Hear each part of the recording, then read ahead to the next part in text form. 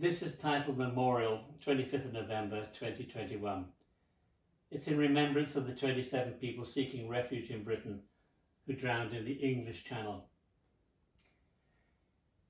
Each piece of this memorial presents a frame of reference regarding their plight.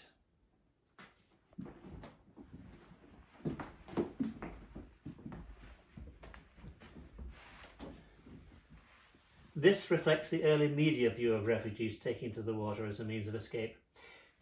And it shows unseaworthy boats crammed with bodies clad in brightly coloured safety vests.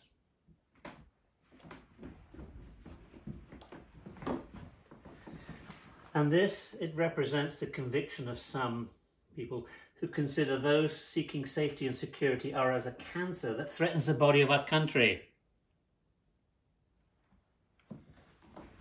And this, this is justice, blind to the lifeless bodies strewn like flowers on the waters of European seas.